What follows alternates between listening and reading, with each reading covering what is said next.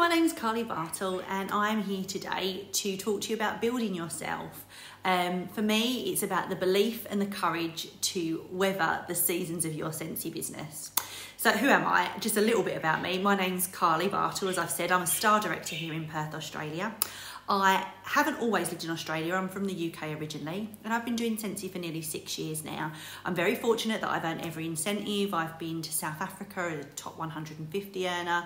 Um, I've got team in every region across the across the regions, um, and it's my full time gig. I absolutely love it.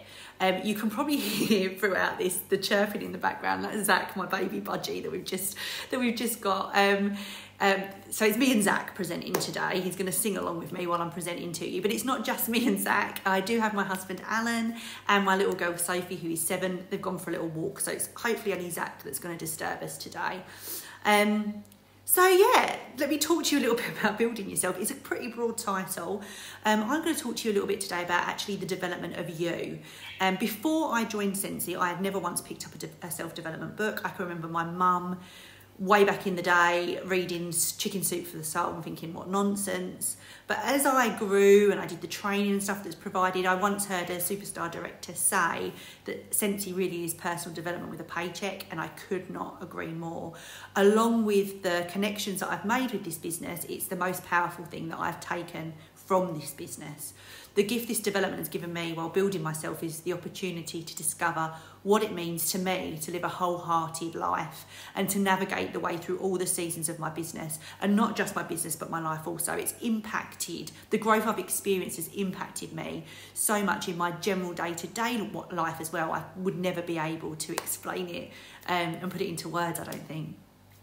So today I want to share with you some points of my journey. There's been some amazing highs that have like taken my breath away, but there's also been some lows a few times where I thought I just can't do this anymore. So your your Scentsy journey, our Scentsy journey, is always a story of courage, resilience, and vulnerability. And hopefully, from today, you can understand that the lows and the struggles that you have in your business, that we all have in our business, have just as an important part to play as the highs. I'll teach you some tricks, hopefully, that I've picked up along the way on how to stay the course and to not waver. And by doing this, what it will allow you to do is to truly embrace the highs when they come, because they will come. They will come. And you get to learn that what they are, are are just joyful moments that you get to experience. You can't have the light without the dark.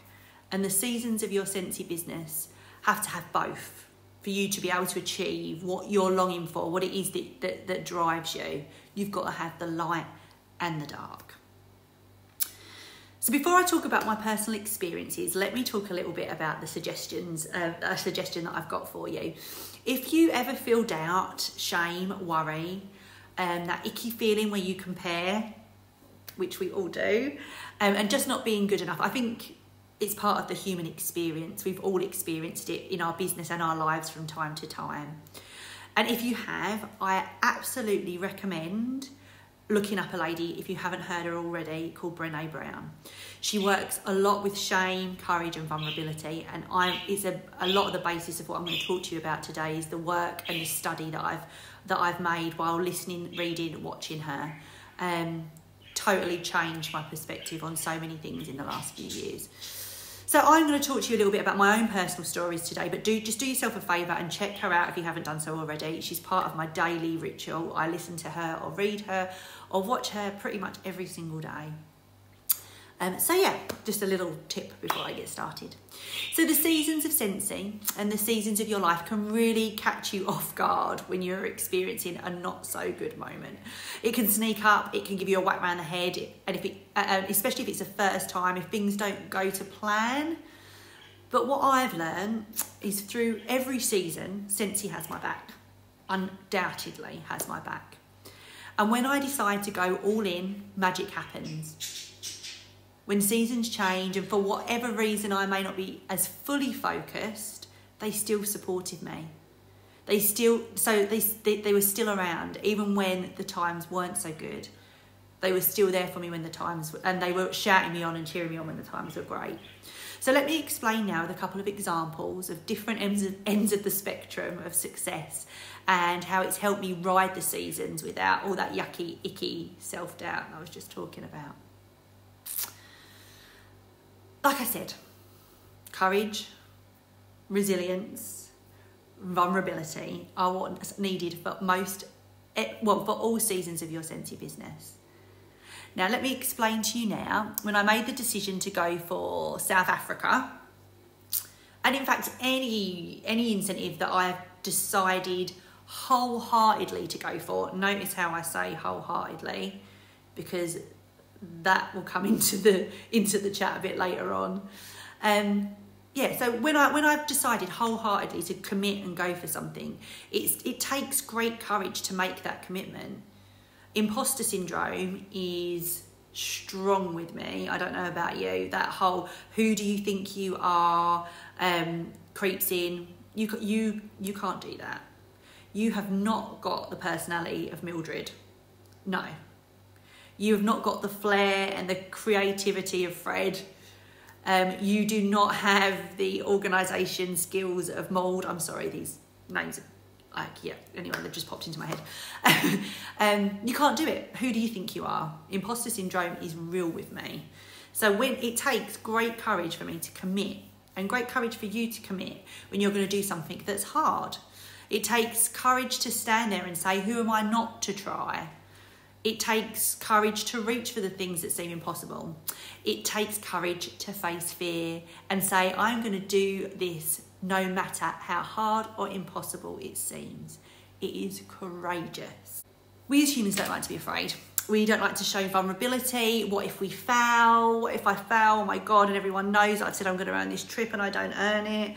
Um, but I think once, once you have the knowledge that you have to stumble when you're trying to reach those heights, um, if I hadn't had the knowledge that I'm gonna have failure throughout the process, I might not have stepped up and gone through with a huge, like with my whole heart. It took huge amounts of resilience to commit to it. I had to spring back time and time again when I'm trying to see if something worked and it didn't quite hit the mark. I had to ask for help um, and had to be okay with being vulnerable, asking for help, which is a huge thing when you're flying high and also when, when you're not flying high. But the whole time I was striving for South Africa, I dared to dream that I could. I wanted it with my whole heart, and that's what carried me through. So, it's not just about the PRV or the team building, although that's pretty important.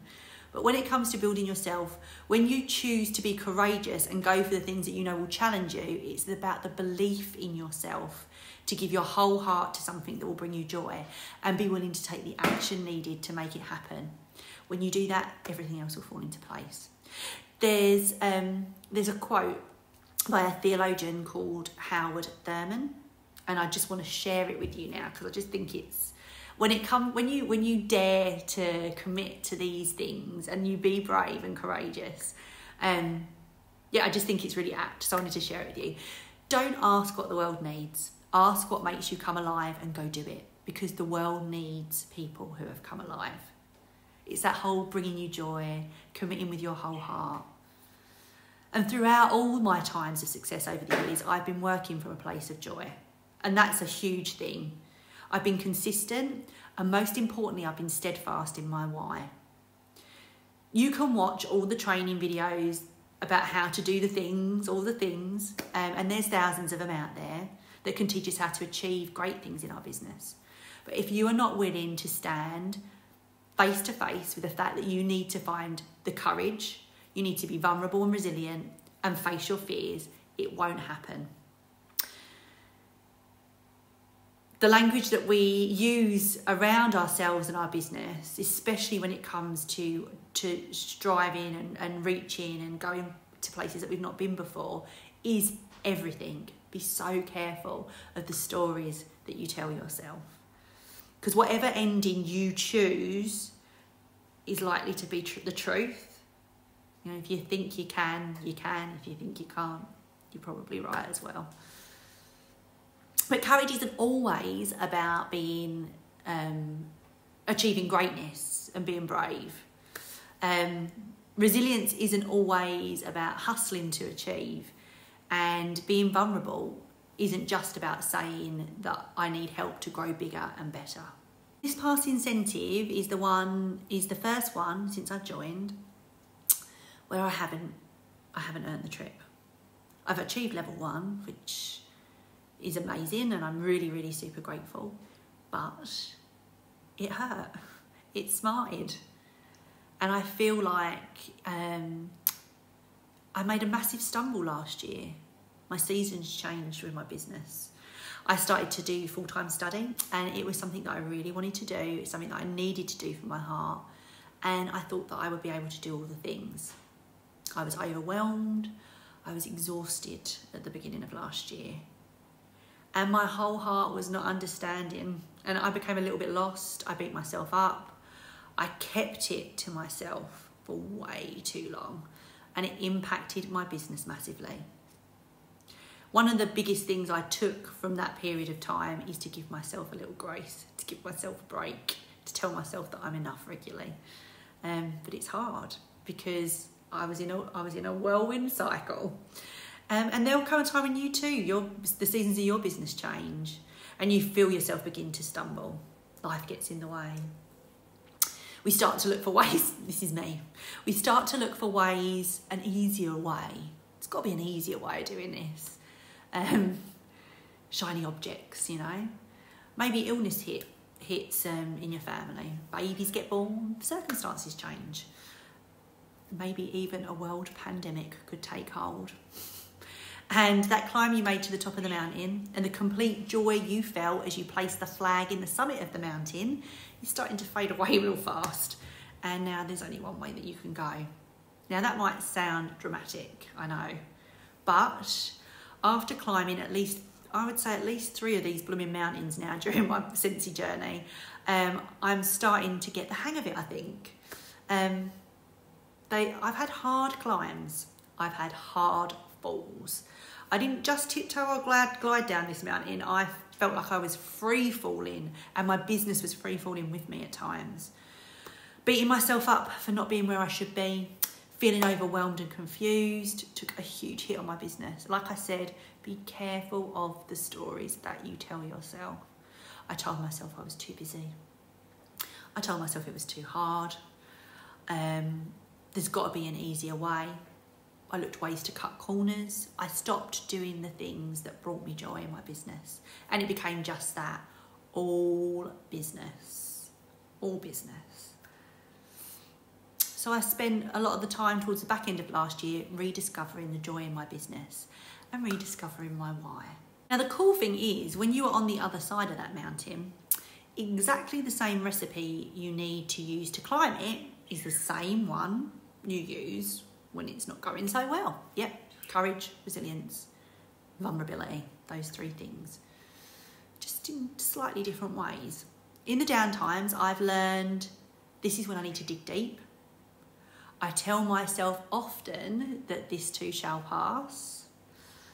But just like joyful moments of success, when we stumble, they too are just moments and they don't last forever. And it's exactly the same as the seasons of our lives when the very worst heartache, heartache hits and when we feel like we're falling apart or when we experience the joys of loving and living, they're all just moments. And like I said, we can't have the light without the dark. In fact, having that dark makes the light all the more brighter and joyful when we do get to experience it.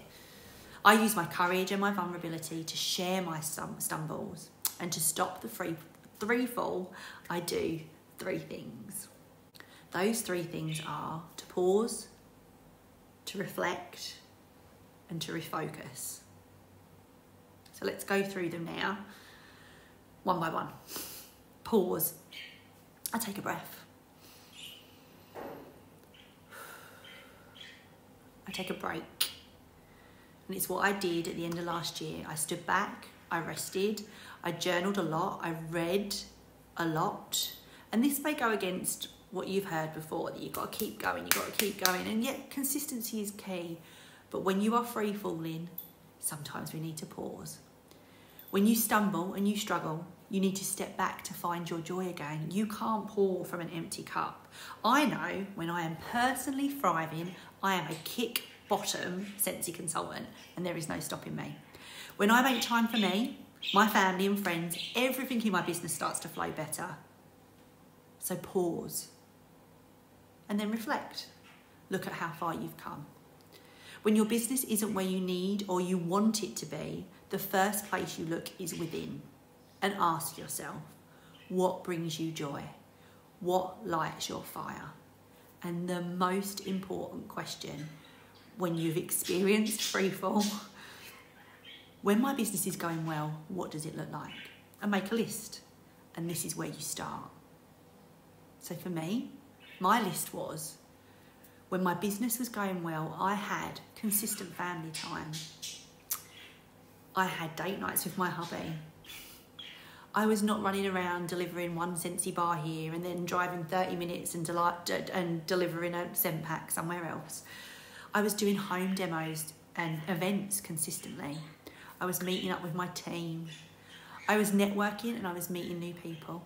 I stepped away from social media and gave myself a break from that. And I set business hours so I had good time away from my business.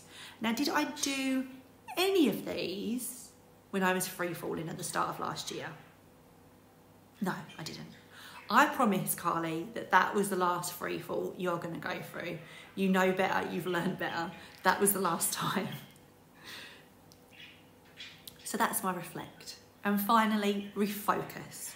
Get glowing, get growing, get going. Work your list and start to take action and move. Pick something from that list to start with and make it happen one thing at a time. In the struggle in struggle town times, use your courage to ask for help. Show your vulnerability to people. It's okay to not have your ducks in a row. In fact, I think it's really important as a leader to show my vulnerability. I actually feel a bit weird about people that tell me that their Scentsy journey's just been one like long, happy, like amazing ride. And also like when someone tells me that their life's been nothing but joyful, red flags go bouncing up everywhere for me. I want my team to know when they too start to struggle, I see them, I hear them, and I've been there too. We are all presented with joy and sadness and ups and downs. They need to be shared in equal measure. But because behind every success is hundreds of times when you have fallen short or it's not worked out. You only fail when you give up. And through every time we don't reach the heights we were aiming for, we learn in ways and we grow in ways we never even realise. So, your recipe to navigate the seasons of your life and your seasons of your business are to embrace courage, resilience, and vulnerability. You're going to need it for each season. And when you're struggling, remember your three to pause, to reflect, to refocus. Ask the important questions. What brings you joy? When, when my business is going well, what does it look like? And finally, I'm going to try not to cry as I'm reading this because it always makes me cry. I want to leave you with a quote that I read years ago by Theodore Roosevelt. And I feel, feel, feel it sums us up as Scentsy consultants of how courageous we have to be as we go forth, forth and hold firm with our business. It's called The Man in the Arena, and I'm going to read it now. So, it's not the critic who counts, not the man who points out how the strong man stumbles, or where the doer of deeds could have done them better. The credit belongs to the man who is actually in the arena whose face is marred by dust and sweat and blood, who strives valiantly, who errs, who comes short again and again, because there is no effort without error and shortcoming, but who does actually strive to do the deeds, who knows great enthusiasm, great devotion, who spends himself in a worthy cause, who at the best knows in the end the triumph of a high achievement, and who at the worst, if he fails, at least he fails while daring greatly, so that his place shall never be those cold and timid souls who neither know victory nor defeat.